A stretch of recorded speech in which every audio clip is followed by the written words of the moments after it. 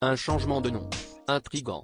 Né en 2019, alors même que les relations entre ses parents, le prince Harry et Meghan Markle, et le reste de la famille royale britannique, étaient déjà tendues, le petit Archie de Sussex avait été déclaré quelques jours plus tard officiellement.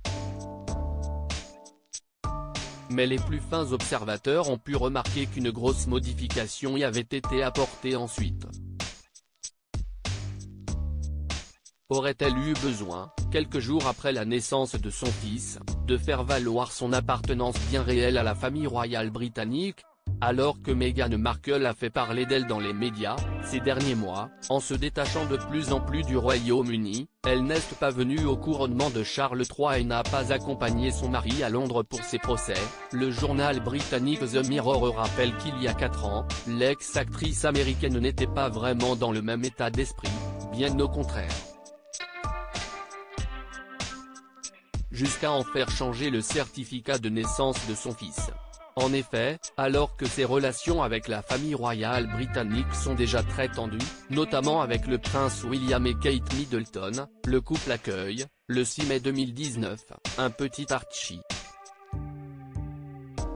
Né quasi secrètement pour échapper à la presse, il n'est présenté à la presse par ses parents que plusieurs jours plus tard et surtout déclaré officiellement le 17 mai, soit 11 jours après sa naissance.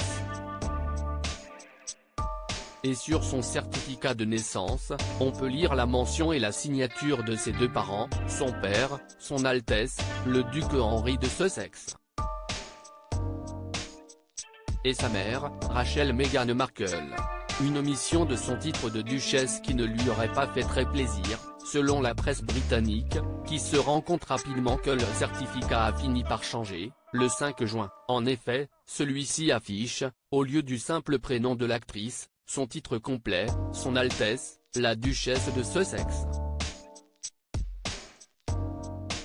Différence avec Kate Middleton à l'époque, la presse se demande pourquoi ce changement, surtout que Kate Middleton, sa belle-sœur, n'a jamais eu recours à ce genre de procédé, sur l'acte de naissance de ses trois enfants, on peut lire son prénom, simplement, aux côtés de celui du prince William. L'un des porte-paroles du couple finit par répondre, le changement de nom sur les documents publics en 2019 a été dicté par le palais, comme le confirment les documents des hauts fonctionnaires du palais. Une version qui ne satisfera pas vraiment les journaux britanniques, mais qui prouve surtout que Meghan Markle, quelles que soient ses décisions, n'a jamais réussi à s'intégrer dans le clan royal. Aujourd'hui très loin de tout cela, et maman d'une petite fille en plus, Lilibet, 2 ans, l'américaine a bien d'autres préoccupations, notamment de relancer ses business plutôt en berne. En revanche, avec son mari, qu'il avait tant soutenu à l'époque, ça n'irait pas très fort.